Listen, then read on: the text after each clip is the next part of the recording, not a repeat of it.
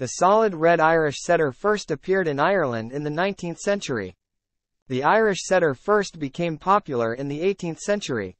The Irish setter is believed to have developed from an English setter spaniel pointer Gordon setter mix. The earliest ancestors of the Irish setter were not solid red but red and white. Thank you for watching please subscribe and like.